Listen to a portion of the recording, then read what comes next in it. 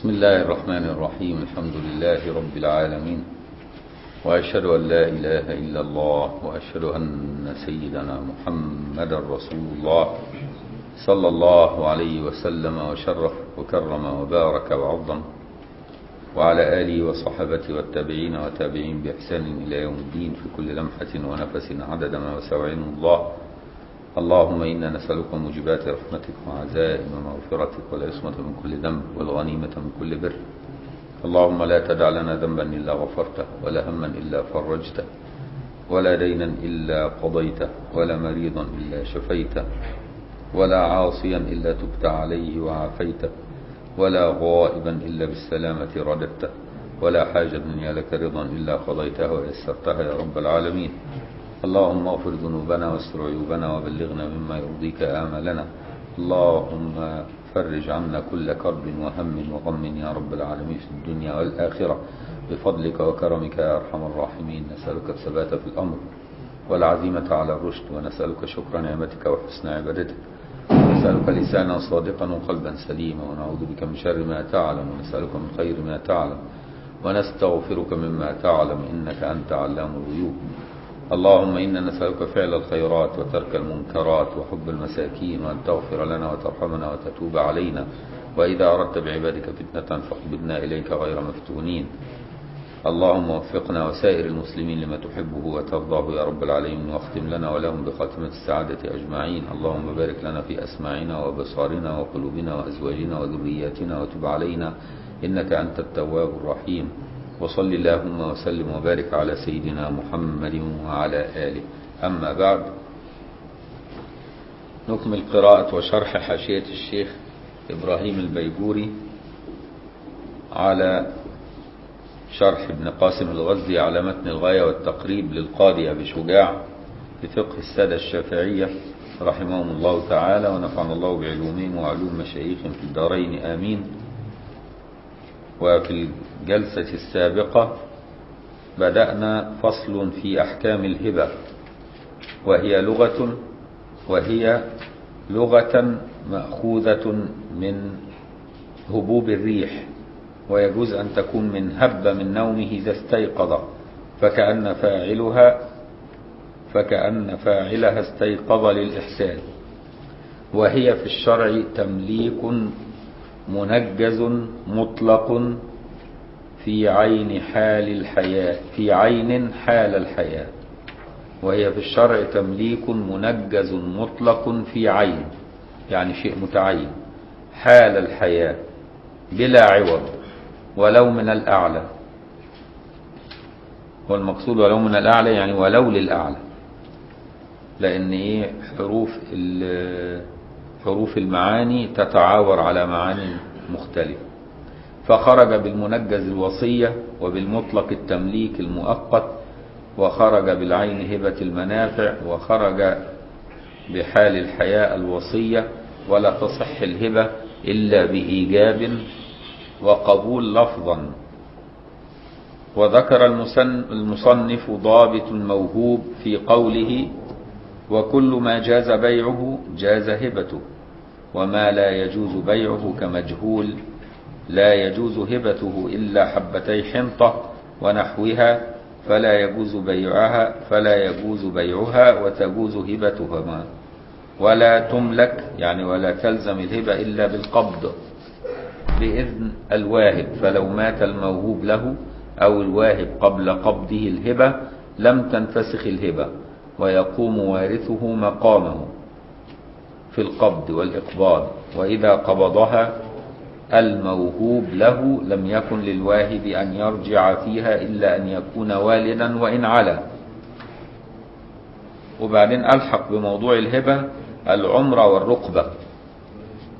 وهنقف عند هذا الحد ونقرأ الحاشية ثم نكمل العمرة والرقبة بعد ذلك. وقفنا في الجلسة الماضية على قوله وذكر المصنف ضابط, ضابط الموهوب أي قاعدته. فالضابط هو القاعدة في الغالب يعني ما يندرج تحتها جزئيات كثيرة. وقوله في قوله متعلق بقوله وذكر هو بيقول وذكر المصنف ضابط الموهوب في قوله. يبقى في قوله دي جر ومجرور متعلق بالفعل ذكر. وكل ما جاز بيعه جاز هبته. وهي قاعدة هامة يستدل بها أيضا على عدم جواز التبرع بالأعضاء كما قلنا قبل ذلك. بناء على عدم جواز بيعها لأن لا يجوز للإنسان أن يبيع أعضاءه فإذا كان لا يجوز بيع العضو يبقى لا يجوز هبته. وكل ما جاز بيعه جاز هبته أي وكل ما صح بيعه صح هبته. فجاز هنا بمعنى إيه؟ الصحة. فالمراد بالجواز هنا الصحة. يعني وكل ما يصح بيعه يصح هبته. ويبقى بالمفهوم وكل ما لا يصح بيعه لا يصح هبته. فالمراد بالجواز هنا الصحة وإن حرم. يعني ممكن يبقى البيع حرام لكن يقع وقت نداء الجمعة. وإن حرم كالبيع وقت نداء الجمعة. يبقى البيع وقت نداء الجمعة حرام لمن واجب عليه الجمعة لكنه ينعقد. وهبة الشيء لمن يستعين به على معصية. كذلك يحرم هبة الشيء لمن يستعين به على معصية وكذلك بيع الشيء لمن يستعين به على المعصية. يعني لو إنسان جاء يشتري منك سكين ليقتل آخر وأنت تعلم أنه يشتريها ليقتل بها لا تبيعها له وكذلك لا تهبها له ولا تعرها له حتى لا تعينه على المعصية. يبقى وهبة الشيء لمن يستعين به على معصية أيضا تحرم كالبيع وقت نداء الجمعة. وفي بعض النسخ جازت هبته. يعني وكل ما جاز بيعه قال جازت هبته. ذكر تاء التأنيث. وهو الأولى. طب وإنما تركها ليه في النسخة اللي يجاز هبته؟ لأن الهبة مجازي التأنيث. ومجازي التأنيث يجوز فيه إثبات التاء وحذفها. في الاسم الظاهر. فيجوز طلعت الشمس وطلع الشمس. ما لو قلت بخلاف ما لو قلت الشمس طلعت فتجد فيه التاء لأن أنت لما تقول الشمس طلعت يعني فاعل طلعت فين؟ ضمير مستتر تقديره هي. مش كده برضو؟ يعود على الشمس المذكورة مبتدأ والجملة الفعلية في محل رفع خبر. فطالما ال ال جاء بالضمير وجب إظهار تاء التأنيث. طالما جاءت بالضمير يبقى وجب إظهار تاء التأنيث. يعني لما تقول طلع الشمس هنا الشمس فاعل مفيش ضمير فيها. ظهر اسم ظاهر. فيجوز فيها الوجهين طلع الشمس وطلعت الشمس. لكن لو قلت الشمس طلعت يبقى فاعل طلعت هنا فين ضمير تقديره هي يعود على الشمس. فإذا كان الضمير يبقى يجب التأنيث. يجب ظهور التأنيث طالما تعود على ضمير واضح؟ بخلاف ما لو قلت الشمس طلعت فتجد فيه التاء لأن الضمير يجب فيه التأنيث وإن كان مجازي التأنيث. ومحصل هذا الضابط أن ما صح الضابط اللي هو كل ما جاز بيعه جاز هبته أن ما صح أن يكون مبيعا صح أن يكون موهوبا وفيها استثناءات. يعني في استثناءات يعني في أشياء لا يصح بيعها ومن ذلك مسائل منها الجارية المرهونة إذا استولدها الراهن المعسر أو أعتقها فهنا يجوز بيعها ولا يجوز رهنها. يعني في بعض الصور أشياء يجوز بيعها ولا يجوز رهنها خارجة عن القاعدة. مثالها الجارية المرهونة يعني إذا رهن جاريته بسبب دين عنده فرهنها وهذه الجارية استولدها الراهن المعسر يعني أنجب منها أنجب منها الراهن المعسر. وإذا أنجب منها صارت أم ولد. كويس؟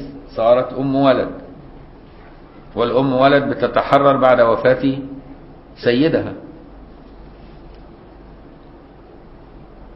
الهبة ال- ال- ال- الجارية ال- ال- المستولدة لا يجوز هبتها.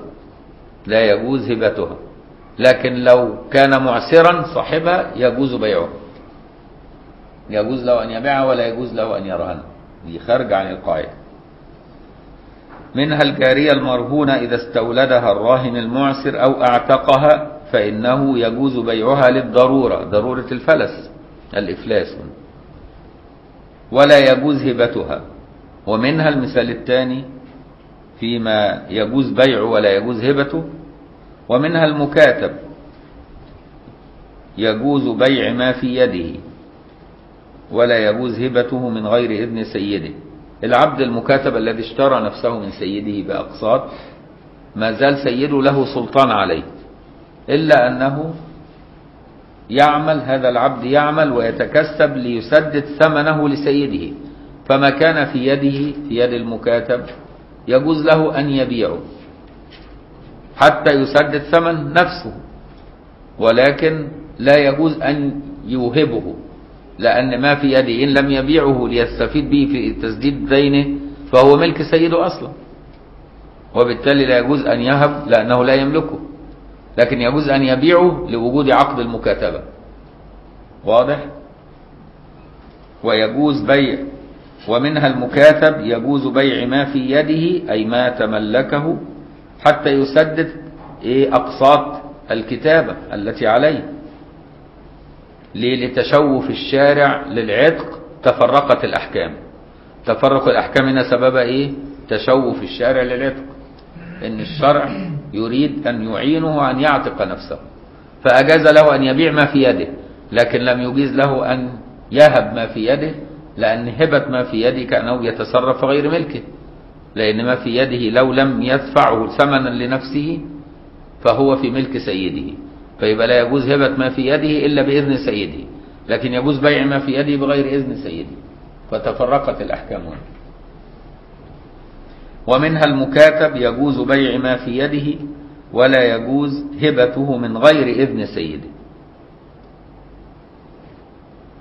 لأن عقد الكتابة جعل ما في يده له أن يبيعه تشوفا لإيه؟ لمعاونة العتق.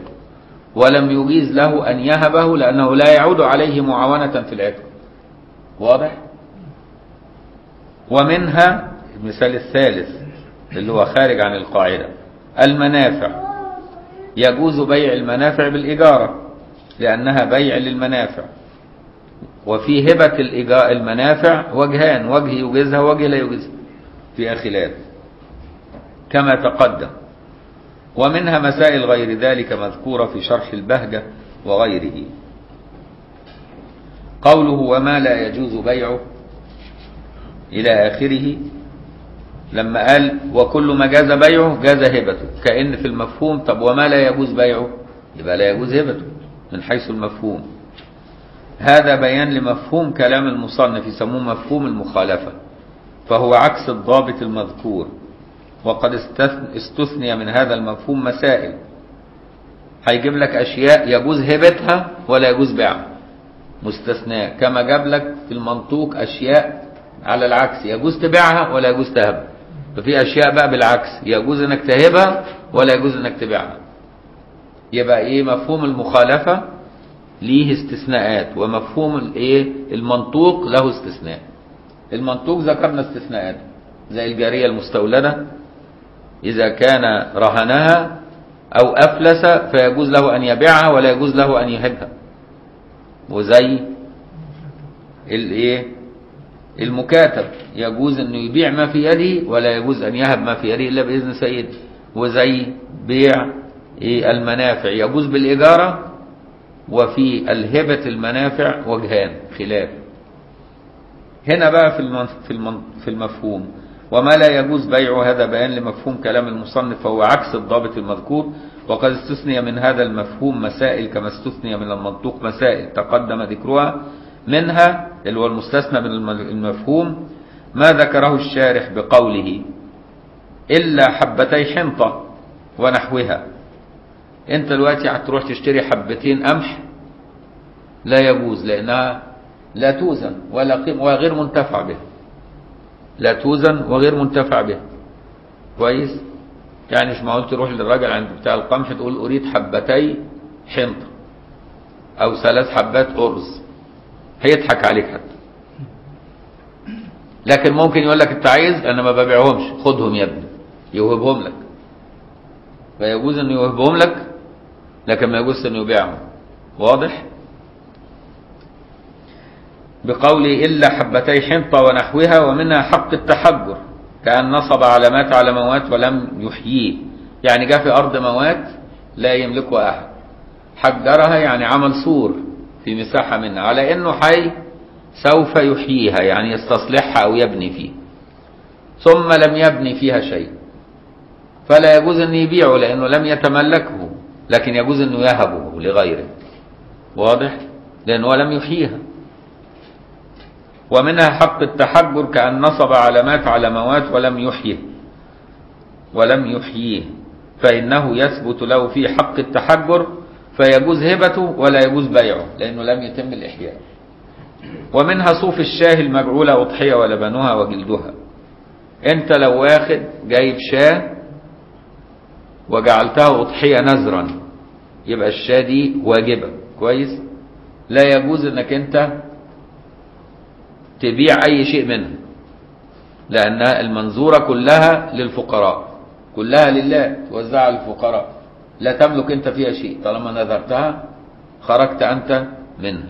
إلا أن سلطانك عليها فقط أن تنفذ ما فيها من نذر. تنتظر وقت الأضحية حتى تذبحها لكن يجوز أنك أنت تاخد صوفها وتهبه للناس لكن ما تاخدش الصوف وتبيعه. ويجوز أنك أنت تاخد لبنها وتهبه للناس لكن لا يجوز أنك تاخد لبنها وتبيعه. واضح؟ يبقى في أشياء تتفرق فيها الأحكام. وكذلك جلدها. لما تيجي تذبحها بيبقى ليها جلد. يجوز أنك تهبه للجزار ولكن لا يجوز أن تبيعه للجزار ولا تجعله جزءا من ثمن جزارته. ومنها كذلك الثمار قبل بدو الصلاح. لا يجوز أنك تبيع الثمار قبل بدو صلاحها لكن يجوز أنك توهبه. واضح؟ كل دي مستثنيات للقاعدة.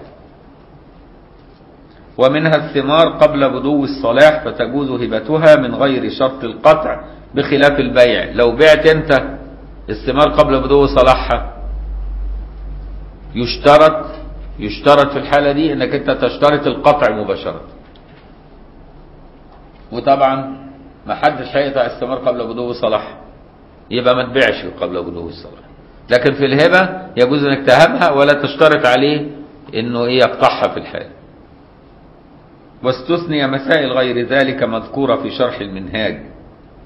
وغيره فاقتصار الشارح في الاستثناء على ما ذكره تقصير. فقد علمت المسائل المستثنى من المنطوق والمسائل المستثنى من المفهوم وبهذا تعلم ما في صنيع المحشي البرماوي الشيخ إبراهيم البرماوي. حيث جمع بعض المسائل الأولى مع الثانية وجعل الكل مستثنى من المفهوم. يعني البرماوي في الشرع في الحاشية بتاعته جعل المستثنى من المفهوم والمستثنى من إيه؟ من المنطوق كله مع بعضه كده ده أمثلة ولم يميز يعني بينهم. واعترض على الشارح بقوله بعض الناس اعترضت على ابن قاسم الغزي اللي هو الشارح بقوله ولو جعل الشارح لكلام المصنف مفهوما وفيه تفصيل لا سلم من حصر الاستثناء الذي ذكره لعدم صحته إذ يرد عليه المستولد من معسر المرهون إلى آخر عبارته. والحق ما بيناه لك كما صنع الشيخ الخطيب. يعني في ناس اعترضت على إنه استثنى من المفهوم الشارح وإنه ما جابش سيرة المستولدة فردوا عليهم قال لهم لا ده المستولدة دي مستثناة من المنطوق وودى أمثلة للمستثنى من المفهوم. فلا اعتراض على إيه الشارح.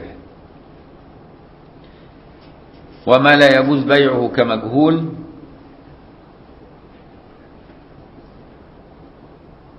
أي فإنه لا يجوز بيعه فلا تجوز هبته. كان يقول وهبتك أحد هذين الثوبين أو العبدين؟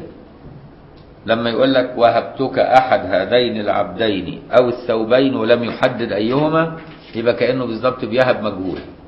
واضح؟ فلا تصح الهبة لأن هذا مجهول. وكذلك لا يصح بيع المجهول. يعني ما ينفعش برضه لما تبيع تقول للواحد إيه بعتك أحد هذين الثوبين بكذا. لازم تحدد له أيهما لأن كانه مجهول وكذلك في الهبة. فلا تصح الهبة لأن هذا مجهول. ومثله النجس أو النجس والمغصوب لغير القادر على انتزاعه. لا لا يصح بيع النجس. ولا بيع المغصوب طالما انت غير لواحد لا يستطيع أن ينتزعه. يعني بعض الناس غصبوا منك ما تملكه. يجوز أنك تبيع هذا المغصوب لواحد يكون عنده سلطان يستطيع أن ينتزعه. واضح؟ لكن لا يجوز أن تبيعه لإنسان لا يستطيع أن ينتزعه لأنك كأنك بعت غير مقدور على تسليمه. ومن شروط عقد البيع أن تبيع ما تملكه وأن تكون قادر على تسليمه. واضح؟ والمغصوب لغير القادر على انتزاعه يعني ولا يجوز بيع ولا هبة المغصوب إلا للقادر على انتزاعه والضال الضال اللي هو التائه الضائع. يعني كنت تملك شيئا فضاع منك فلا يجوز أن تهب هذا الضائع ولا أن تبيعه. والآبق قد يكون الضال تبقى دابة ضالة أو عبد ضال وقد يكون الآبق الآبق تبقى صفة للعبد الهارب. صفة للعبد الهارب الهارب عن سيده عن صيده.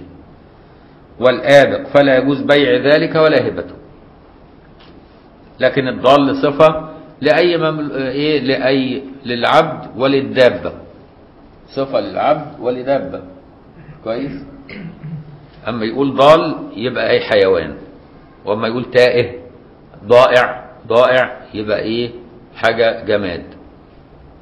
يعني لما تقول إيه ضال يبقى يقصد إيه دابة ضلت منه أو عبد أو أمة ضلت منه يسموه ضال. إنما لما يبقى جماد يعني ليس حيوان وضع منك تقول عليه إيه الضائع. كويس؟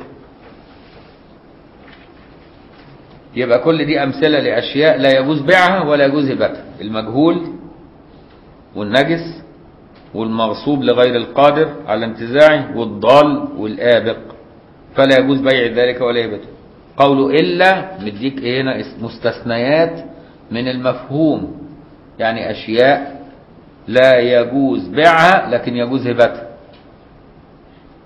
قوله إلا حبتي حنطة ونحوها أي نحو الحنطة من المحقرات.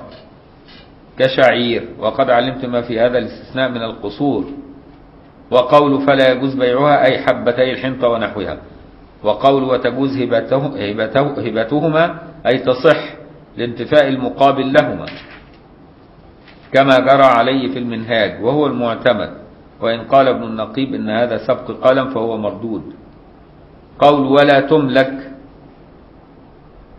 يعني ولا تلزم الهبة إلا بالقبض.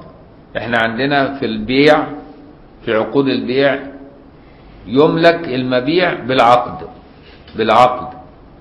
لكن في الهبة لا تملك الهبة إلا بالقبض. كويس؟ مش بمجرد القول. لابد أن يقبضها. ولا تملك يعني ولا تلزم الهبة إلا بالقبض. لما كان ظاهر كلام المصنف أن الهبة تملك بالعقد ولا تلزم إلا بالقبض وليس كذلك؟ بل لا تملك ولا تلزم إلا بالقبض أصلحه الشارح كما ترى. لأن لما يقصها الأول وقال لك وكل ما جاز بيع كذا هبته ممكن يتطرق لذهن القارئ إن يبقى تملك بالعقد عقد الهبة. فعلشان كده جاء الشارح يريد إن هو إيه يزيل هذا المفهوم من ذهن السامع فقال ولا تملك ولا تلزم. يعني هو قال لا تملك والمصنف قايل ولا تلزم. إلا بالقبض أصلحه الشارح كما ترى. وقول الهبة أي بالمعنى الأعم الشامل للصدقة والهدية ولو من أصل لفرعه الصغير. فلا تملك إلا بالقبض عنه كما هو مقتضى كلامهم في البيع ونحوه. خلافا لما حكى ابن عبد البر والكلام في الهبة الصحيحة غير الضمنية. وغير ذات الثواب فخرج بالصحيحة الفاسدة. الهبة الفاسدة لا تملك أصلا ولو بالقبض. يعني وهبه هبة فاسدة كأنه وهب ما لا يملكه. واخد بالك؟ وقبضه برضه لا يملكه لأن هبة فاسدة. فالهبة الفاسدة لا تملك حتى ولو قبضه. واضح؟ ولو بالقبض وبغير الضمنية يعني في الهبة غير إيه الهبة الغير الضمنية اللي هي مستثناة؟ الغير الضمنية تصح الهبة الغير الضمنية؟ كما لو قال أعتق عبدك عني مجانا يعني إيه؟ يعني كأنه بيقول لي بيقول له هب لي عبدك فأتملكه ثم أعتقه عني لأنه هو عليه عتق عبد. أنا مثلا علي كفارة عتق عبد. وأنا لا أملك عبد ولا أملك ثمن. فذهبت لصديقي قلت له أعتق عبدك هذا عني مجانا. كأني قلت له هب لي هذا العبد لكي أعتقه. فهنا ما قبضوش. فدي هبة ضمنية. واخد بالك إزاي؟ بالرغم إن هو ما قبضوش الهبة الضمنية دي إلا لتشوف الشارع للإيه؟ للعتق أجازها الفقهاء. كما لو قال اعتق عبدك عني مجانا فاعتق عنه فإنه يسقط القبض في هذه الصورة. طب يسقط القبض في الصورة دي ليه؟ لتشوف الشارع للعتق. لأن لو مشينا على القاعدة نقول له ما ينفعش كده. ولو قلنا ما ينفعش كده يظل العبد إيه؟ رقيق. والشارع يشجع تحرير الرقاب. فقام صححها الشرع من أجل مقاصد الشريعة بالرغم إنها تخالف القواعد. يبقى مراعاة المقاصد أولى من مراعاة القواعد. مراعاة المقاصد يعني إذا كانت القاعدة القواعد المقعدة للعقود تحول بين تحقيق المقصد يوم يستثنى القاعدة ونحقق المقصد كأن المقصد فيه أولوية له الأولوية. إذا تعارض مع القاعدة نجنب القاعدة ونمشي المقصد. زي ما قلنا برضو في الوقف في أشياء كثيرة هتقابلنا. وزي ما قلنا لا يجوز أن الإنسان يتملك أصله مثلا في عقود البيع. فلو اشترى عبدا وبان له أنه أبوه. المفروض أنه إيه؟ هو لا لا يتملك أصله وكذلك لا يتملك فرعه. فطالما لا يستطيع أن يتملكه يبقى لا يستطيع أن يشتريه.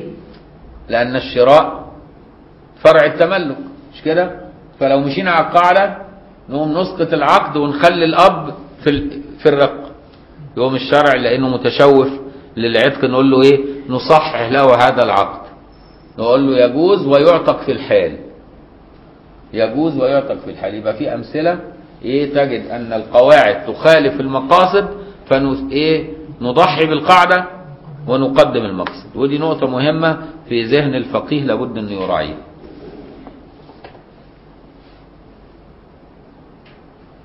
فإنه يسقط القبض في هذه الصورة لصورة إيه؟ الهبة الضمنية اللي هو أعتق عبدك عن زي برضه في البيع والشراء يقول له أعتق عبدك عني بألف. أعتق عبدك عني بألف. يعني إيه؟ يعني اشتريت عبدك بألف واعتق انت ما تمش القبض. فهمت؟ يعني ممكن يقول له أعتق عبدك عني مجانا بقت هبة ضمنية. وممكن أقول له أعتق عبدك عني بألف بقى عقد بيع ضمني. واضح؟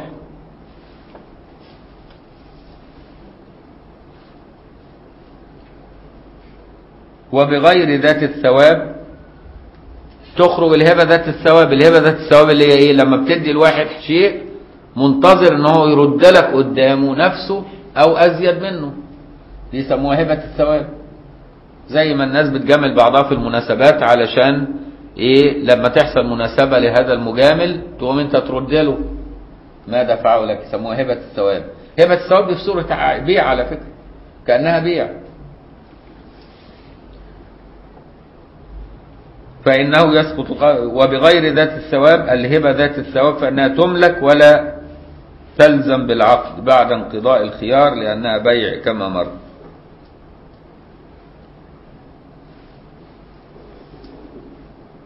يعني الهبة ذات الثواب حكمها حكم البيع. خد بالك؟ بتلزم بالعقد بمجرد العقد.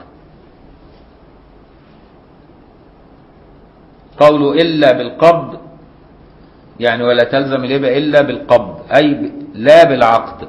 لا بالعقد كعقد البيع يعني. لأنها عقدا عقد إرفاق كالقرض. في عقود اسمها عقود إرفاق يعني عقود مواساة. جعلها الشارع حتى يعني تيسر معاملات الناس فيما بينهم البعض. يسموها عقود إرفاق. زي عقد إيه؟ زي عقود القرض والأ- والأمانة. عقد الأمانة. وزي الوديعة. وزي برضو الهبة. عقد إرفاق. كالقرض فلا تملك ولا تلزم إلا بالقبض. ولأنه صلى الله عليه وآله وسلم جايب لك دليل كمان من السنة أن النبي أرسل هدية ثم بعد ذلك بعدما أرسلها ولم يتم قبضها أخذها النبي وأهداها لغيره. كويس؟ ولأنه صلى الله عليه وسلم أهدى إلى النجاشي ثلاثين أقية مسكا وقيل أربعين. تعتبر يعني المسك الطبيعي وثلاثين أقية منه دي يعني تعتبر هدية غالية قوي يعني النبي صلى الله عليه وسلم بيبعت لملك هدية لازم تبقى هدية بقى قيمة. أهدى إلى النجاشي ثلاثين أقية مسكا وقيل أربعين ثم قال لأم سلمة اللي زوجتي إني لأرى النجاشي قد مات. يعني والهدية دي هترسل بعد ما وضبها وهيبتدي يرسلها ربنا أوحى للنبي إن النجاشي مات. كويس؟ ولا أرى الهدية التي أهديت إليه إلا سترد. الهدية يعني لما هيرسلها هيمشي الراجل المرسال يوصل يلاقي النجاشي مات هيرجع بيها تاني يرجعها للنبي صلى الله عليه وسلم. فإذا ردت إلي فهي لك. قال لستنا أم سلمة كده لو ردت إلي يبقى لك. لسه ما قبضتهاش ستنا أم سلمة. كويس؟ فكان الأمر كذلك. يعني وجدوا النجاشي مات وردت الهدية إلى النبي صلى الله عليه وسلم. لكن لما ردت قسمها صلى الله عليه وسلم بين نسائه ولم يخص بها أم سلمة لأنها لم تتملكها بالوعد تتملكها بالقبض. فلما لم تقبضها وجد النبي إن الأفضل إنه قسم بين زوجاته حتى لا تكون هناك غيرة بين زوجاته بعضهم البعض. فقدم المصلحة. والقبض هنا كالبيع. لكن لا يكفي هنا التخلية ولا الوضع بين يديه. في البيع في عقد البيع القبض يتم بالتخلية. تقول لك البضاعة اهي خش خدها يفتح لك المخزن ويخش خد البضاعة. يبقى خلى بينك وبينها أو ان يمسك البضاعة يحطها قدامك. كويس؟ كل ده في عقود البيع تمشي. لكن في الهبة ما تنفعش الحاجات دي. لا يكفي هنا التخلية ولا الوضع بين يديه بغير إذن ولا الإتلاف لأنه غير مستحق للقبض. يعني لو أتلفها كويس لو تلفت ما يطلبوش الموهوب له ما يطلبوش. لكن في عقد البيع لو تلفت قبل أن يقبضها يطلب بدلها أو عوضها. لكن في الهبة أنا وهبتك شيء فقبل أن تقبضه تلف مني. ما ينفعش انك انت تيجي تطالبني بيه أو تقول لي اديني عوضه. لكن في البيع تطالبني بيه وتطلب أو عوضه أو ثمنه. واضح؟ لأنه غير مستحق للقبض بخلاف البيع إلا إذا كان الإتلاف بالأكل أو بالعتق إذا كان بإذن الواهب لكن يجوز له أنه يتلفه بالأكل أو بالعتق إذا كان بإذن الواهب ويقدر ويقدر انتقاله إليه قبيل الأكل والعتق. يعني افرض أتلفه يعني كاله يعني استهلكه. خلاص طالما استهلكه يبقى قبض ما أقدرش أطالبه بيه لأني وهبته له. لكن افرض وهبت له الطعام فأكل بعضه وأنا أردت إن أنا آخذ البعض الآخر. يبقى البعض الآخر الذي بقي أمامه ده ما زال لم يقبضه لأن قبضه إنه إيه؟ يزدرده يعني يبتلعه. فممكن إن أنا أشيله تاني. زي أنت ما بتقدم الصينية فيها طعام لضيفك. اللي بيتبقى بتلفه له ولا بتاخده تدخله تاني ولادك ياكلوا منه؟ بتدخله وياكلوا منه. واخد بالك؟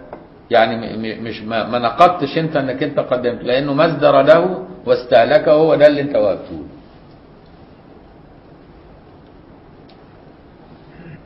أو لو أنا اعتقت مثلا عبد لو اعتقت عبد ووضعته امامه وهو راح اعتقه. يبقى ما طلبوش بيه بقى. خلاص. لأنه طالما اعتقه يبقى تصرف بيه كأنه استهلكه. لكن لو لم يتم القبض عليه وما زال امامه لي ان أنا ارجع في اي وقت؟ لكن لو خدوا مني وراح اعتقه على طول.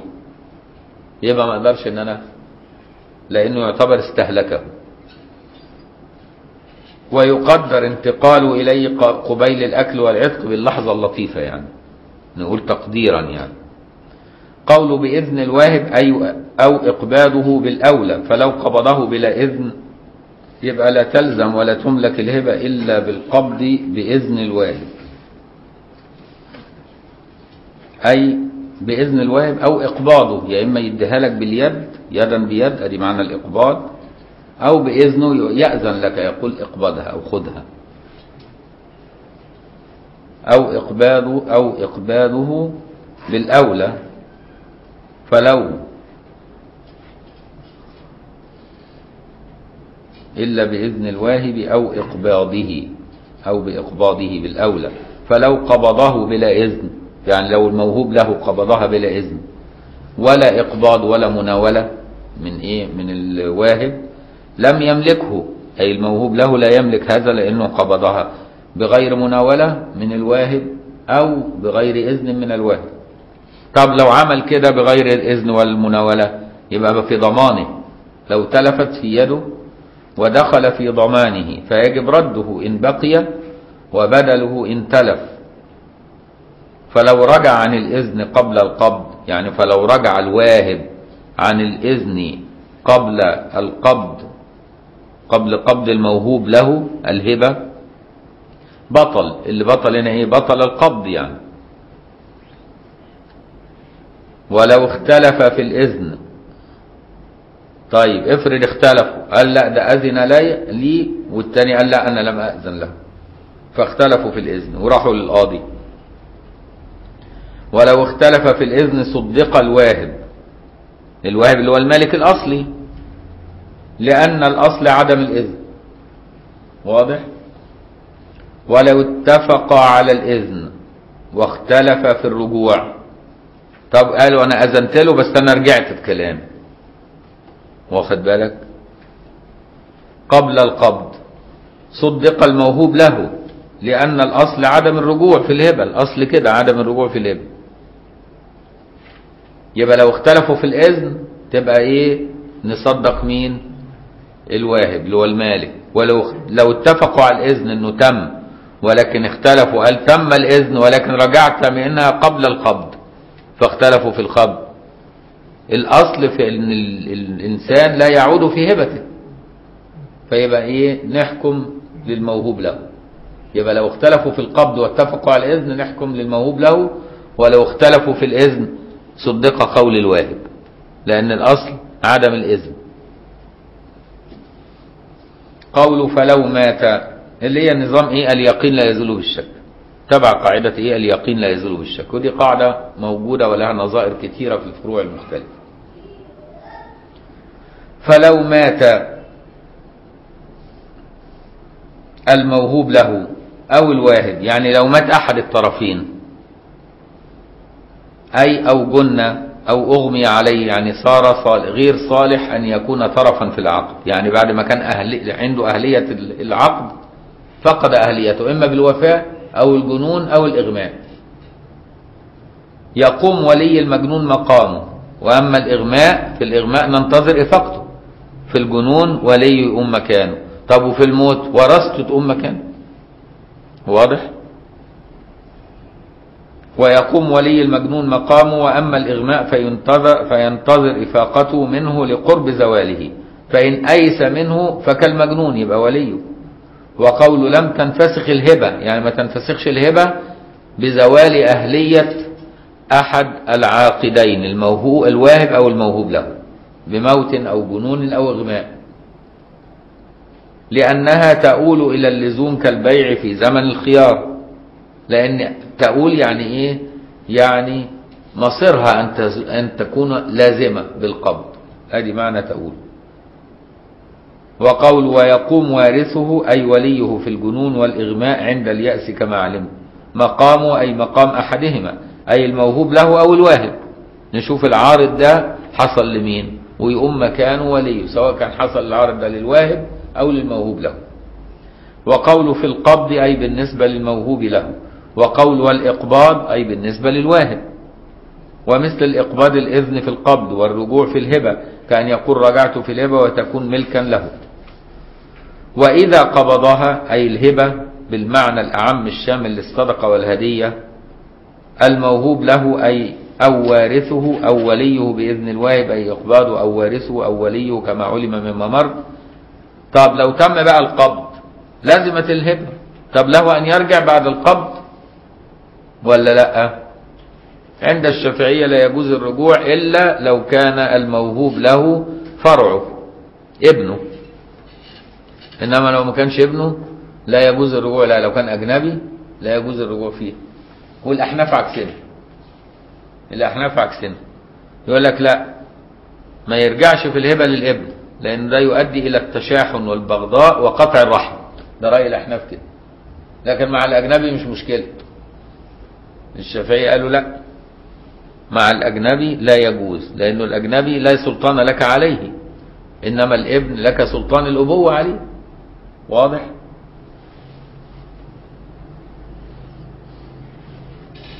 قول لم يكن للواهب أن يرجع فيها أي لخبر الخبر اللي هو الحديث يعني. دليل عدم الرجوع في الهبة إيه؟ لا يحل لرجل أن يعطي عطية أو يهب هبة فيرجع فيها إلا الوالد. فيما يعطي ولده. والحديث ده رواه الإمام الترمذي والحاكم. وصححاه. والشافعية خدوا بنص الحديث. في استثناء هنا أجازوا الوالد يعطي ولد طب والأحناف عملوا إيه في الحديث ده؟ قال لك ما هو ده خبر أحاد. وإحنا الأصل عدم قطيعة الرحم. وإن الطريقة دي هتؤدي إلى قطيعة الرحم. يبقى ما ناخدش بالحديث لأن ده أحاد ونرجع للأصل إن ده قد يؤدي إلى قطيعة الرحم. واضح؟ هذه طريقة رد الأحناف الشافعية عندهم إذا صح الحديث فهو مذهبهم. إذا صح الحديث يبقى مذهبهم. التانيين يصح الحديث وخالف ما هو أقوى منه ما خالف المتواتر خالف المتفق عليه. يبقى ما إيه؟ ما يستثنهوش كمان. لا ده يعتبره خلاص. يبقى إيه؟ ملغي. كأنه ما وردش واضح؟ دي طريقة فهم الأحناف للإيه؟ للفروع. لخبر لا يحل لرجل أن يعطي عطية أو يهب فيرجع فيها إلا الوالد فيما يعطي ولد فيما يعطي ولده. رواه الترمذي والحاكم وصححه. والمراد بالعطية في الحديث الصدقة والهدية وبالهبة خصوص الهبة ذات الأركان بقرينة العطف. قوله إلا أن يكون والدا أي إلا أن يكون الواهب والدا للموهوب له فله الرجوع. ولو كان قد أسقطه ذكرا كان أو أنثى. يعني الوالد ده سواء كان أم أو أب مش خاصة بالأب بس يعني ممكن الأم تهب ابنها وترجع في كلامها ومش الأم بس القريبة والجدة والأب والجد يعني الأب وإن على والأم وإن إيه؟ علت. كل دول اسمهم أمهات. لو وهب واحد أحفادهم حاجة ممكن يرجعوا فيه حتى بعد ما يقبضها ذكرا كان أو أنثى غنيا كان أو فقيرا صغيرا كان أو كبيرا ولو مع اختلاف الدين كمان. وقول وإن على أي فيشمل سائر الأصول من جهة الآباء والأمهات. فالمراد بالوالد كل من له ولادة قريبا كان أو بعيدا. وخصوصا وخصوا بذلك وخصوا بذلك. ليه دول استثنوا؟ الآباء استثنوا ليه؟ لانتفاء التهمة عنهم فلا يرجعون إلا لحاجة أو مصلحة لوفور شفقتهم. تملي الآباء عندهم شفقة مش هيرجع في الهبة إلا لأنه بانت له مصلحة أعلى. لأنه إيه؟ عنده شفقة أصلا لا يريد أن يؤذي أبنائي ولا أحفادي فوفور الشفقة جعلت إيه؟ عدم سوء الظن موجود في الرجوع. واضح؟ فأصبح الرجوع مقبول. بخلاف الأجانب. لأن مع الأجانب مفيش الشفقة موجودة بين الناس بعضهم بعض كعلاقة الأب بابنه من حيث الشفقة. فلو عمل كده مع الأجنبي هتحصل شقاق. لكن مع ابنك ما هو ابنك بقى يستحملك هو شايف وعايش معاك وشايف إن ظهرت المصلحة إنه يرجع. خير بخلاف الأجنبي. ومذهب الحنفية عكس مذهبنا. معللين بأن الرجوع في الوالد يورث الشحناء والبغضاء فيترتب على ذلك العقوق بخلاف الأجانب. ومحل الرجوع فيما إذا كان الولد حرا. إمتى يرجع؟ لو وهب ابنه الحر. طب لو وهب ابنه الرقيق. هبة. صارت ملكا لسيده مش ملكا لابنه ما يعرفش يرجع فيها. واضح؟ فيما إذا كان الولد حرا فإن كان رقيقا فلا رجوع لأن الهبة له هبة لسيده وهو أجنبي وسيده أجنبي عنه. ومحل أيضا في هبة الأعيان. يعني يصح أن يرجع في هبة الأعيان لكن ما يرجعش في هبة الديون. واضح؟ كأن وهب لولده دينا له عليه. في الدين ما يعرفش الوالد يرجع. يعني افرض ابنك استلف منك عشرة ألاف جنيه فوهبته له قلت له خلاص أنا مش عايزه ما ينفعش ترجع تقول له اديني العشرة آلاف. لكن لو اديت له العشرة آلاف ممكن تقول له ادهم لي ترجع فيهم تاني. لكن لو وهبته دينا ما ترجعش فيه. واضح كل دي مستثنيات من القواعد. كان وهب لولده دينا له عليه فلا رجوع له فيه سواء قلنا إنه تمليك أو إسقاط. إذ لا بقاء للدين فأشبه ما لو وهبه شيئا فتلف. شبهوا الدين إيه هبة الدين؟ انه وهبوا شيء وأكلوا خلص استهلك. هياخده منين؟ وهو لم, لم يبقى له عيب واضح؟ فشبهوه بأنه كأنه وهبه شيئا فأتلفه أو استهلكه يعني. وشرط الرجوع إمتى له أن يرجع في هبته لولده؟ بقاء الموهوب في سلطنة الولد. يعني أنا وهبت ابني شقة فامتلكها بالهبة وفضل معايا في حيازته ممكن أرجع فيها. طب افرض وهبته الشقة دي راح بيعها. ما أعرفش أرجع فيها بقى. واتصرف فيها بقى واضح؟ لكن طول ما هي باقية في حيازته ممكن أرجع فيها في أي وقت. لكن هو خدها مني وراح بيعها. واضح؟ يبقى ما أعرفش أرجع فيه لأن صارت في حيازة غيري أجنبي عنه.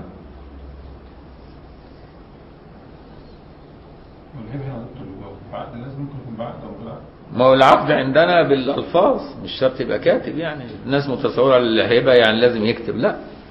العقود كلها في الشرع الشريف لفظيه بالأقوال كده ويجيب شهود بس وخلاص. اتنين شهود قاعدين ويقول له كذا خلاص انتهينا بقى ده هو ده عقد. زي الزواج الزواج طول عمره كده ما كانش فيه مأذون. كان يجي العريس قاعد وولي الزوجة والشهود زوجتك ابنتي قبلت وفرح وبتاع ويشربوا شربات ويروحوا بقت مراته لا في مأذون ولا غيره واخد بالك؟ يعني العقود أصلا مبناها الألفاظ والإشهاد وليس الكتابة. الكتابة تمت بعد ذلك لأن إيه؟ قلت الأمانة. أصبح إن الناس إيه؟ يعني تنكر العقد بعد وضعه فأصبحت الكتابة هنا من باب التوثيق وليس من باب إيه ضرورتها للعقد لا ده من باب التوثيق فقط. والتذكير ممكن ينسى بعد فترة وممكن الشهود يموتوا ممكن هو ينسى والشهود يموتوا فلما بتكتبها بتبقى إيه؟ عندك يعني وثيقة تقدر تذكر بها.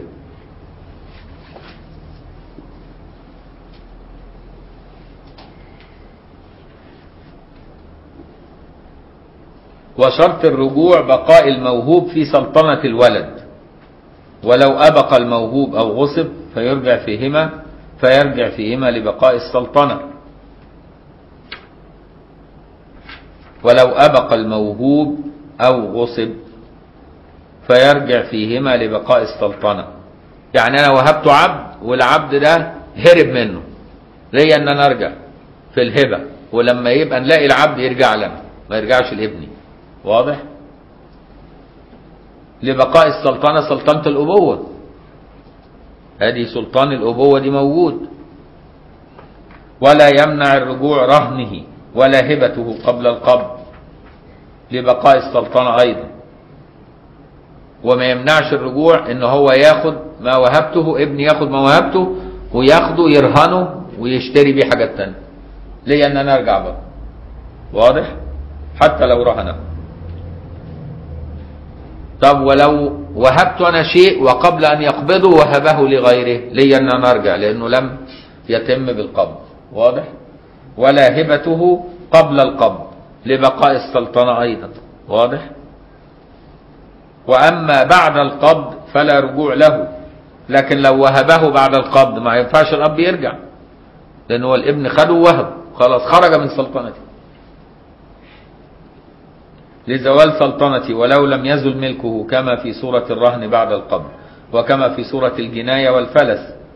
فلو جنى الموهوب أو أفلس الموهوب له وحجر عليه امتنع الرجوع لتعلق الحق بالموهوب الذي يمنع بيعه. لو جنى الموهوب يعني اديته عبد والعبد ده عمل جناية. الجناية دي ليها قرش تعويض. كويس؟ أو أفلس الموهوب له. يعني وهبت لابني شيء وابني ده أفلس فحجر عليه. وصار ما وهبته إليه إيه عليه سلطان القاضي بالحجر لا يتصرف فيه. فهمت؟ أو أفلس الموهوب له وحجر عليه امتنع الرجوع لتعلق الحق بالموهوب الذي يمنع بيعه. لأن تعلق حق الإيه. الدائنين بإيه؟ بالحجر. والدائنين دول أجانب فما ينفعش أن نرجع في الهبة ونسيب الأجانب دول اللي لهم حقوق متعلقة. نعم لو قال في سورة الجناية أنا أؤدي أرش الجناية وأرجع ممكن في الأصح. يعني لو لو جنى العبد اللي وهبته جنى جناية. واخد بالك؟ لا يستطيع إن هو يسترد الأب من ابنه. بعد ما جنى هذا العبد جناية لأن عليها قرش ممكن يستردها إمتى؟ لو يقول أنا هاخد العبد وأنا أدفع لكم. ويدفع للناس إيه؟ قرش جنايته. يعني إيه؟ التعويض الذي جنى به. في الحالة دي ينفع. أنا أؤدي أرش الجناية. يعني تعويض الجناية. الأرش هنا يعني تعويض الجناية. وأرجع. مكن في الأصح. في الأصح يعني دليل إنه مقابل اصح لا يمكن برضه لأنه فقد سلطان. يعني لا يمكن يعني إيه؟ يعني يترك لأصحاب التعويض. هم اللي يوافقوا أو ما يوافقوش. يقول لك لا إحنا عايزين ناخده منه هو. مش منك أنت. يتحكموا بقى. فهمت؟ ففي الحالة دي يبقى في عندنا الأصح يمكن بحكم القاضي والتانيين يفقدوا الاختيار. واضح؟ وفي وجه تاني يقول لك لا يمكن إلا بموافقة الآخرين. ولا رجوع له في بيض فرخ ولا في بذر نبت. ولا رجوع له في بيض فرخ ولا في بذر في بذر نبت. لأن الموهوب صار مستهلكا. أنا اديته بذور وهبتها له. بذور دي يعني صالحة لأنها تبذر في الأرض تزرع. فخدها عنده. وفسدت سبتها لما نبتت وفسدت من غير ما يحطها في الأرض. ما ينفعش الرجوع فيها لأنها مش ما فيش فائدة منها. كأنها استهلكت يعني. أو خد البذور دي بدل ما يبذرها في الأرض أكلها. كويس؟ وكذا بيض فرخ. يعني وهبته البيض كده لأن دي كلها مستهلكات. ما ينفعش إنها إيه نكلمه عليه. كأنه كلب. ولا يمنع الرجوع تدبير ولا تعليق عتق. بصفة. ولا يمنع الرجوع تدبير. يعني إيه؟ يعني أنا أعتقت عبد اديت العبد بتاعي ده لابني. صار عبدا عنده هبة. فقام ابني قال للعبد ده أنت حر دبر موتي. ده اسمه تدبير. اداله وعد قال له أنت حر دبر موتي. التدبير ده ما يمنعش الرجوع. واضح؟ ليه؟ إنه يرجع ويرجع العبد تاني لإيه؟ لمالكه الأول. ولا يمنع الرجوع تدبير ولا تعليق عتق بصفه أو قال له مثلا أنت عتيق إن فعلت كذا أو إن آه، حصلت على كذا مثلا. افرض مثلا بيعلمه في المدارس يقول له أنت إن حصلت على شهادة الثانوية العامة أنت عتيق مثلا. يعني أصبح إيه؟ علقها على شيء يحدث. وفي الحالة دي ممكن برضو الجد اللي هو إيه؟ أو الأب يعني يرجع في الهبة دي لأنه علقها بصفة. ولا تزويج للرقيق. ولو زوج هذا العبد زوجه برضه له أن يرجع ويرجع تاني في حيازة الوالد. كل دي أشياء لا تمنع الرجوع في الهبة هبة الوالد لولده. ولا زراعة للأرض. يعني أنا وهبته قطعة أرض وابتدى هو يزرعها. لا يرجع فيها. يعني زرعه للأرض اللي أنا وهبتها له ما يمنعنيش إن أنا أرجع فيها طالما هو ابني واضح؟ ولا إيجارة أنا وهبت شقة صارت ملكا له بالهبة وهو ابني فراح مأجرها. وأنا ظهر لي إن المصلحة إن أنا أرجع في هذه الهبة. ليا إن أنا أرجع؟ وتبقى الإيجارة تبع أنا بقى. واضح؟ كل دي ما يمنعش. بخلاف لو استهلكها بخلاف لو خد الشقة وباعها وخد مالها وصرفها. ما أعرفش ارجع خلاص فيه.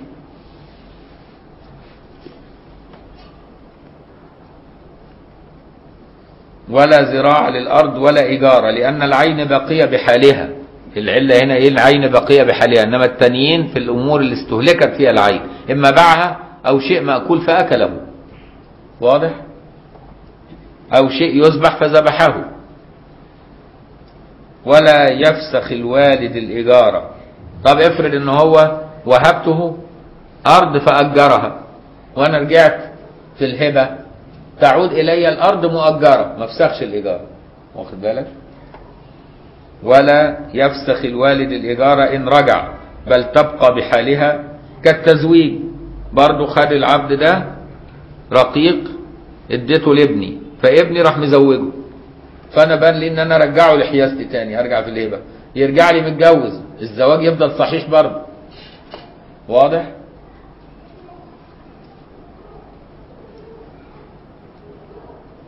ولا يفسخ الوالد الإجارة إن رجع بل تبقى بحالها كالتزويج ويرجع في العين مسلوبة المنفعة مدة الإجارة ويرجع في العين مسلوبة المنفعة مدة الإيجار هتبقى مسلوبة المنفعة مدة الإيجار بس لأنه هو ابني قبض الإيجار.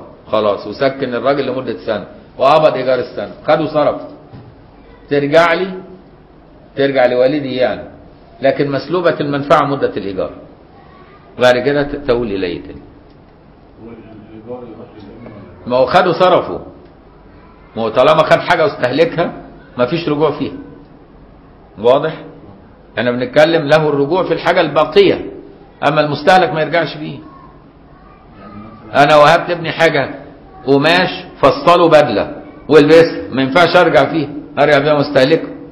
وهبته طعام أكله وهبته دار باعها وخد مالها صرفه. ما ارجعش هرجع فيها إزاي؟ لكن إمتى يصح لي الرجوع؟ لو العين باقية. لسه. واضح؟ ويمتنع الرجوع ببيع الولد الموهوب ولو لأبيه الواهب ويمتنع الرجوع ببيع الولد الموهوب ولو لأبيه الواهب أو وقفه له أو عتقه أو نحو ذلك مما يزيل السلطنة. يبقى ما في حاجات تمنع الرجوع زي إيه؟ إن الولد الموهوب ويمتنع الرجوع ببيع الولد الموهوب. يعني إيه؟ ابني وهبته شيء. خد الشيء ده باعه. يبقى ما ينفعش أرجع. لأنه خرج عن حيازته. واخد بالك؟ ولو كان البيع ده لأبيه. كويس؟ الواهب. أو أوقفه. جعله وقفا لله. ما ينفع ما ينفعش أرجع فيه بقى. أو أعتقه. أو نحو ذلك مما يزيل السلطنة. وإن لم يزل الملك كالكتابة والإيلاد والرهن بعد قبضه. وإن لم يزل الملك كالكتابة يعني عقد المكاتبة يعني إيه؟ عمل عقد بينه وبين الموهوب له إنه يشتري نفسه منه. والإيلاد يعني استولد الجارية لأن لو استولد الجارية لا يجوز بيعها لا يجوز رهنها قصدي لا يجوز إيه؟ هبتها لكن يجوز بيعها ورهنها عند الإفلاس. والإيلاد والرهن بعد قبضه ولو عاد بعد البيع فلا رجوع ولو عاد بعد البيع فلا رجوع لأن الزائل العائد كالذي لم يعد هنا. آه يعني افرض إن الابن اللي أنا وهبته الشيء ده باعه ماليش الرجوع بعد ما باعه رجع في البيع ماليش برضه رجوع واضح؟ لأنه خلاص تصرف فيه بالبيع والعودة مرة أخرى. واضح؟ بقى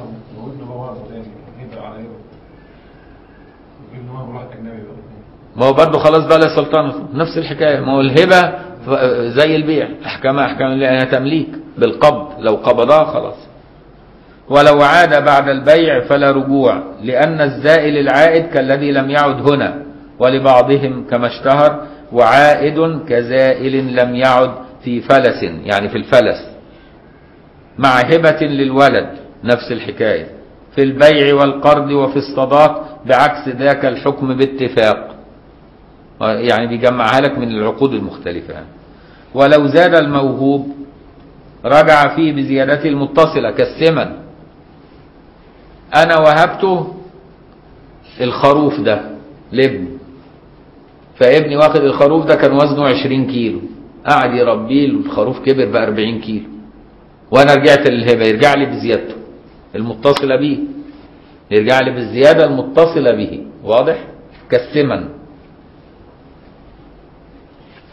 دون المنفصلة كالولد أنا وهبته نعجة.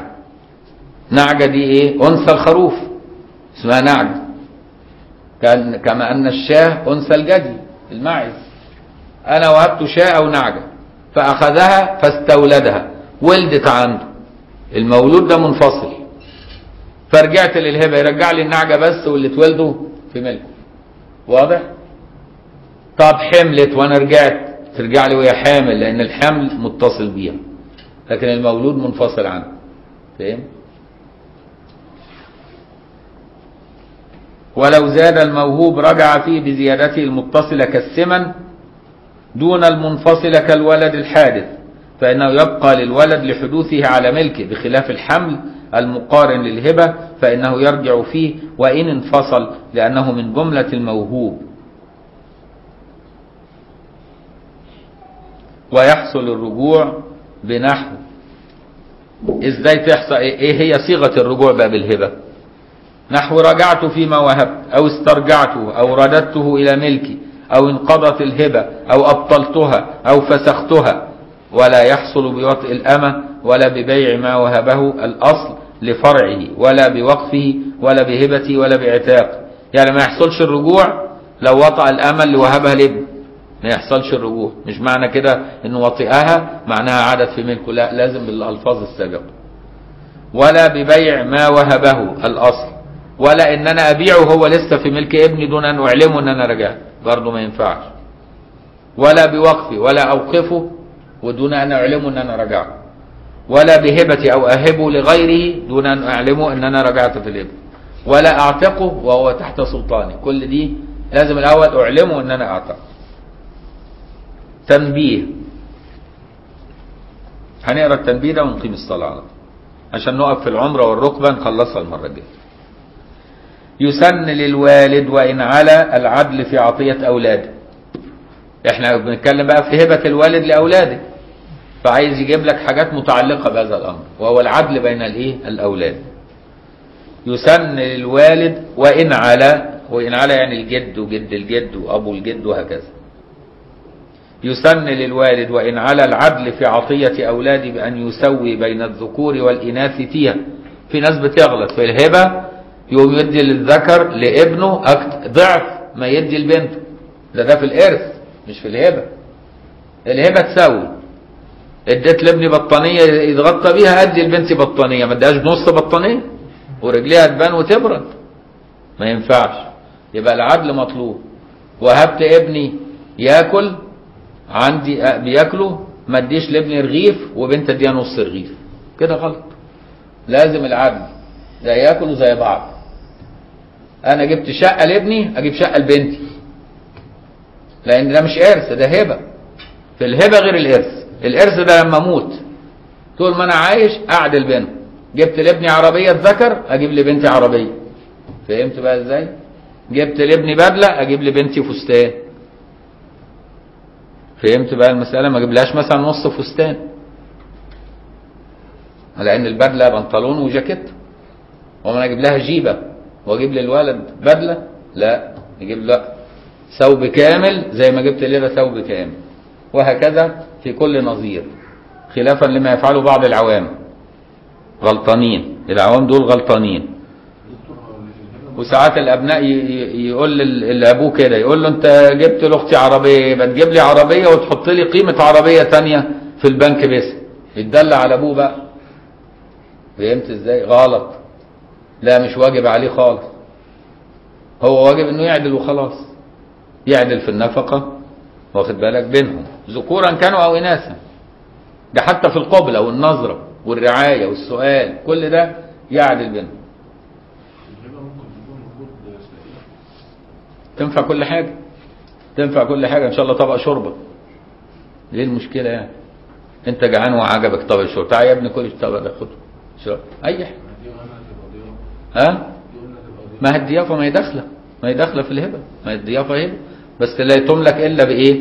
بالازدراد يعني بلحم. مش كده؟ ما إحنا قلناها في الفروع. دي. يسن للوالد وإن على العدل في عطية أولاده بأن يسوي بين الذكور والإناث فيها وكذا في سائر وجوه الإكرام حتى في التقبيل والبشاشة لخبر البخاري اتقوا الله واعدلوا بين أولادكم بل يكره تركه. يعني يكره ترك إيه؟ التسوية والعدل. ومحل ذلك فين بقى؟ عند الاستواء في الحاجة أو عدمها. إمتى تعدل في الهبة بين ولادك؟ لما يبقوا الاثنين محتاجين زي بعض. أدي ده زي ما أدي ده. طب افرض واحد من ولادي عنده قدرة وعنده ذكاء وتخرج ومتوظف وعنده أموال كتيرة والتاني ممشيش في التعليم وضعيف وماشي في الدنيا كده أو أو عنده مرض مزمن ممكن أميز الضعيف على التاني. لأن في هنا مسوغ بقى. التاني ماشي في حياته والتاني مش معرقل فيها. فهمت إزاي؟ يبقى إمتى يعدل؟ لما يستووا في الحاجة. واضح؟ دي نقطة برضو هامة.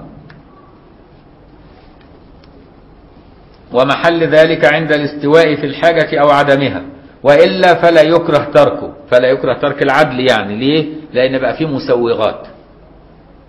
أنجب ولد عنده شلل أطفال وبقيت ولاده كلهم ما عندهم شلل أطفال ماشيين كويس. يقوم إيه يخص الولد ده بالذات بحاجة معينة ليه لضعفه البدني. مش هيصلح إن هو يكافح في الحياة زي دول. أو عنده مرض مزمن أو شيء من هذا. أو ما كملش تعليمه أو أي سبب من الأسباب. ومحل ذلك عند الاستواء في الحاجة أو عدمها وإلا فلا يكره تركه وعلى ذلك يحمل تفضيل بعض الصحابة بعض أولاده على بعض. كتفضيل الصديق رضي الله عنه السيدة عائشة على غيرها من أولاده ومحل ذلك أيضا عند عدم عذر. وفي برضو إمتى؟ أنا عندي ابن عاق بيا لا يسأل عليا ويوم ما يقعد معايا يعلي صوته عليا ويوم ما يتمكن من مالي يتصرف فيه من ورايا. يعني واد قرفني أو مدمن أو أي حاجة مصيبة من مصايب الزمن. وعندي ابن تاني بار بيا وصالح وحاجة. يبقى ممكن أميز ده على ده. يبقى عندي مسوغات تخليك تميز واضح؟ ومحل ذلك أيضا عند عدم عذر كعقوق ونحوه من سائر المعاصي وهو أن يؤذي والديه أو أحدهما أذى ليس بالهين ما لم يكن ما أذاه به واجبا. لكن افرض أذى الأب بأذى واجب يعني إيه؟ يعني أمره بالمعروف. أبوه سكري سكير فبقى يقول له ما تشربش خمرة يا بابا. يقول له ابعد يا ولد. يقوم ياخد الخمرة يخبيها من أبوه. أو ده بالنسبة لأبوه إيذاء فهمت إزاي؟ لأنه غاوي يشربها كل يوم. لكن هنا في الشرع ما يعتبرش إيذاء ده ما يعتبرش إيذاء في الشرع لأن ده أمر معروف ونهي عن منكر. فهمت بقى المسألة؟ أو نهى عن منكر وعطية الأولاد للأصول كعكسه. آه لما يعطي برضه افرض الولد بقى هو اللي هيعطي الابي وأمه. برضه يعطي. فهمت إزاي؟ بين الأب والأم. إلا لو كانت الأم حاجتها أكثر من الأب. يبقى ساعتها يفضل الأم أكثر. أو افرض الأب حاجته أكثر من الأم. يفضل الأب أكثر. وهكذا. فهمت بقى المسائل؟ وهكذا في كل نظير يعني. وعطية الأولاد للأصول كعكسه. كعطية الأصول للأولاد. يعني برضو يسن فيها العدل عند انتفاء الأسباب المسوغة لتمييز أحدهما مع الآخر. فلو في أسباب مسوغة لتمييز أحدهما مع الآخر خلاص مفيش مشكلة. فيسن للولد التسوية بين والديه. إحنا بنعمل عيد الأم يروح جايب هدية لأمه. طب يجيب هدية لأبوه برضه. فهمت إزاي؟ لأنه يسن التسوية. واخد بالك؟ يا إما ما يجيبش للاثنين ويقول لهم جزاكم الله خير ويدعي لهم وخلاص حلو كده أو لو عايشين مع بعض يجيب مأكول عشان الاثنين هياكلوا مع بعض. لكن لو جاب ملبوس يبقى يجيب ملبوس لأبيه زي ما يجيب ملبوس لأمه. طالما الاثنين مش محتاجين. واضح؟ لكن افرض أبوه مش ما بيكسيش أمه عشان إيه؟ يعني دخله قليل. فشايف الأم بتلبس الثياب دي بقى لها 20 سنة ما غيرتهاش. فجاء في عيد من الأعياد جاب لها ثياب تانية وما جابش لبي ينفع. ينفع هنا. واخد وهكذا يبقى على حسب إيه حال كل إنسان.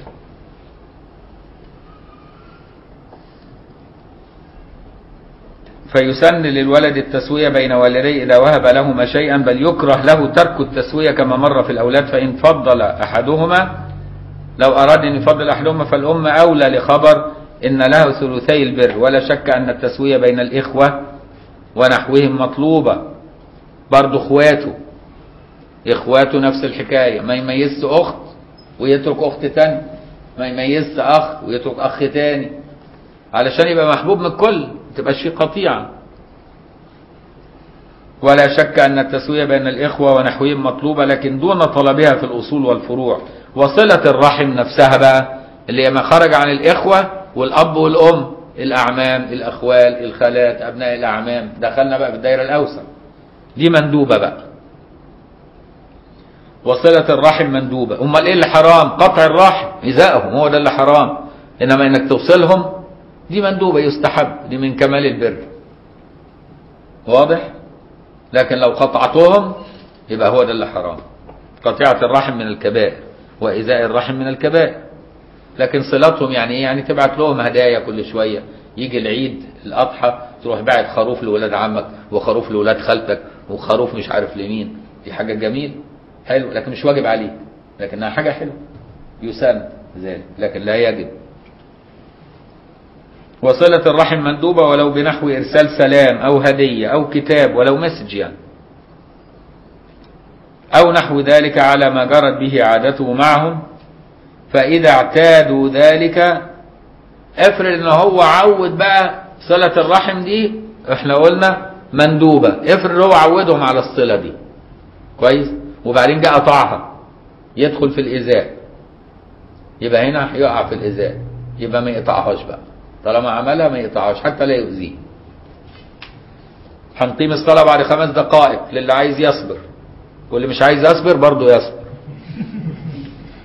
لأن هنقيمها بعد خمس دقائق. يعني أنت يا تصبر يا تصبر. والله مع الصابرين. شفت بقى الديمقراطية؟ بيخيروك اهو الحمد لله. المجلس العسكري بيخيرنا. يا طوارئ يا طوارئ واختار وربنا ينجينا من المتحكمين.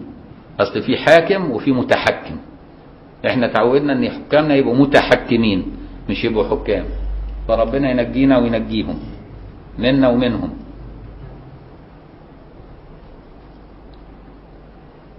وصلة الرحم مندوبة ولو بنحو إرسال سلام أو هدية أو كتاب أو نحو ذلك على ما جرت به عادته معهم فإذا اعتادوا ذلك وصاروا يتأذون بتركه حرم قطعه. لأن إذاهم حرام. لأن ذلك يعد من قطيعة الرحم وهي من الكبائر. لا يقال كيف يكون ترك السنة حرام حراما. لأن ممكن واحد يقول لك مش أنت بتقول يا أخي صلة الرحم سنة؟ طب إزاي في الآخر خليت لي حرام؟ فكيف يكون ترك السنة حراما؟ لأن نقول إنما حرم من حيث التأذي الذي حصل بالقطع لا من حيث ترك السنة. حصل لأن حصلت عليه حاجة زادت على أنه هو سنة أنه يتأذوا لو لم تفعل لأنك عودتهم على هذا. والله تعالى أعلى وأعلم. ونقف على قوله أعمر شيئا أو أرقبه. اللي اسمها العمرة والركبة هنقراها المرة الجاية إن شاء الله. اللهم علمنا ما ينفعنا وانفعنا بما علمتنا وزدنا علما. إن شاء الله الاثنين القادم بين المغرب والعشاء ومن أول شهر عشرة هيبقى بعد العشاء. يبقى شهر تسعة هيبقى الدرس بين المغرب والعشاء ومن أول شهر عشر إن شاء الله يبقى بعد العشاء. وجزاكم الله خير